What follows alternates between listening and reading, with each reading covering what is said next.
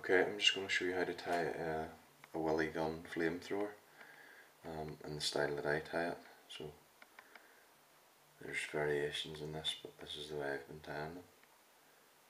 So the hook is a size 10 uh, mustad and just start the thread at the usual place and wind it down to between the point and the barb and come back up about 3 or 4 mil behind the eye I'm going to catch in underneath the shank a length of gold wire or copper wire and take it right down to the point between the barb and the, the point. For the body in this I'm using Future Fly and it's a signature dubbin and it's antique so this is for the rear body. Pull out a few strands and double it one way only on the thread double E fine rope and start to wind it. Get it caught in and then start to wind up the body. You don't want to go too far up the body about even slightly less than halfway and then get three turns of your rib on. Tie your gold wire down and break it away. At this point I'm going to wax the thread and I have a bunch of bucktail here that's been sort of pre-mixed. So this is black, yellow and orange and I've made a wee pile here, it'll probably do three flies so I'm going to split it into three equal portions.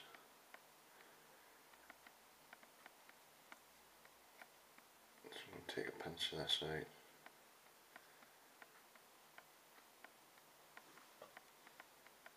Roughly what I need and just make sure the tips are reasonably well lined up. If there's any very short fibres you can pull them out. So I'm happy enough for that. So just set that to the side for the minute. We're going to tie in uh, a yellow hackle. It's just a Chinese neck uh, feather. So there it is there. Tie it in with the tip.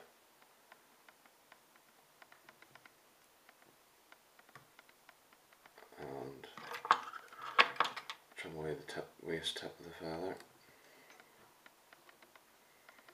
and just I like to fold the hackle with the back of the scissors gently.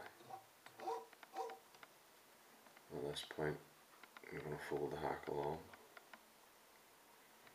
First turn tight up against the gold dubbin and your second turn in front of that and your third turn directly in front of that.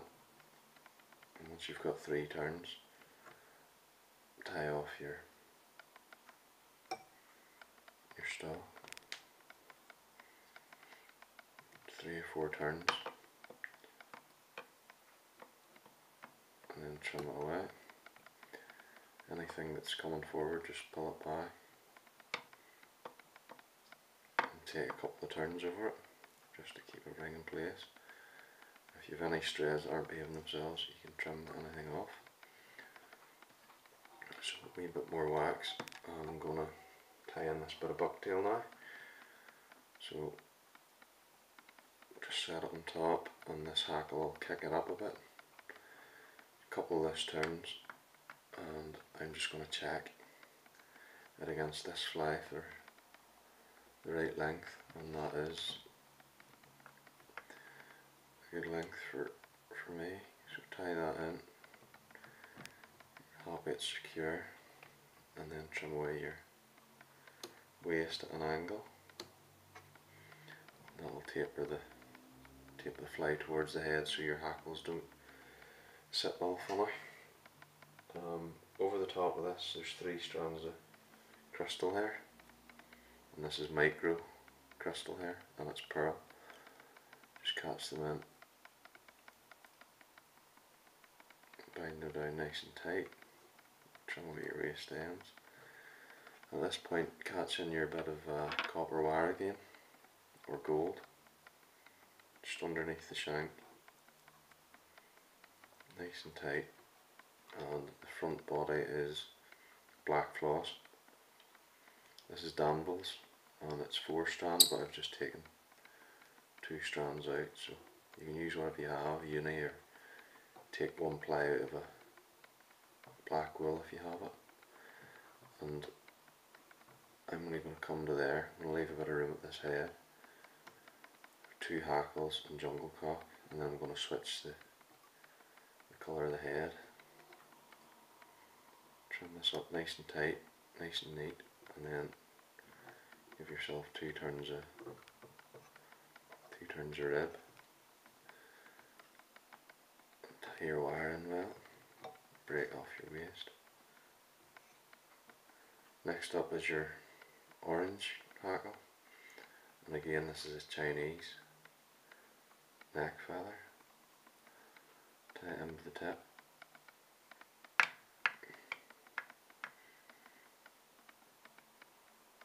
nice and tight. Trim away your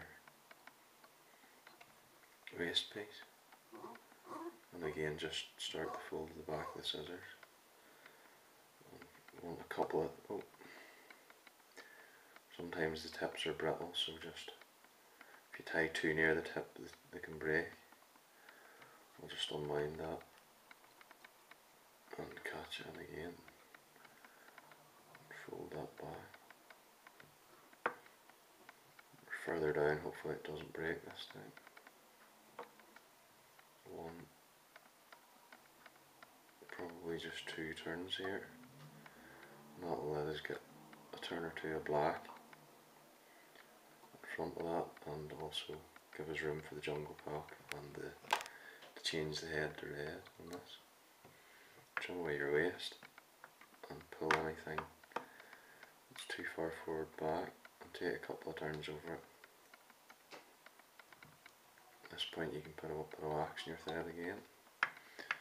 And for the front hackle I'm going to use a, this is a black hen neck. I'm going to pull a, a feather off here and they're fairly, the hens are fairly dense so probably a turn or a turn and a half that's the hand feather there. Just going to catch it in by the tip as well.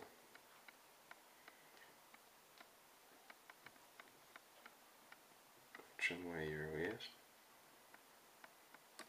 Nice and tight. And double your fibres back.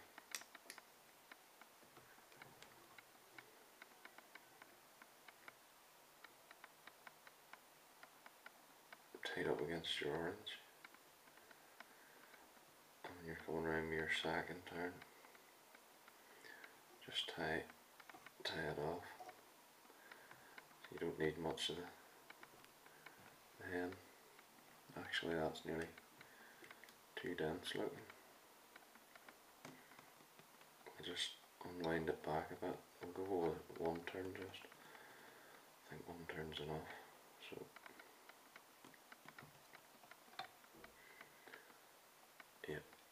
one turns enough there.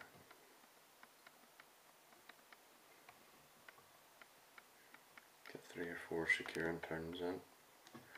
You're happy that it's not going to pull out or slip, trim away your waste. And then tidy up around your head a bit and get ready to tie in your your jungle cock eyes. So I'm going to use the small feathers at the bottom here. Um, you don't want too big an eye on it, so just select two that are roughly the same size and tie them in by the pull the fibres back away from the where you're going to tie them in and then place them in and one or two turns just to hold them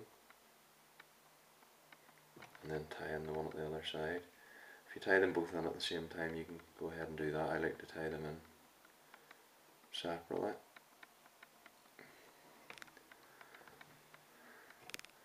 Until you're happy with them.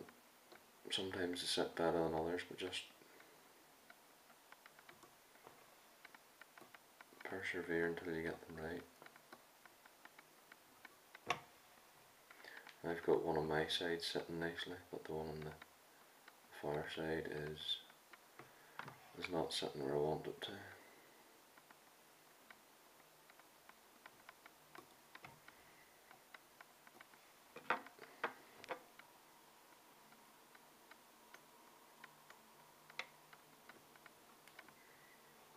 It's,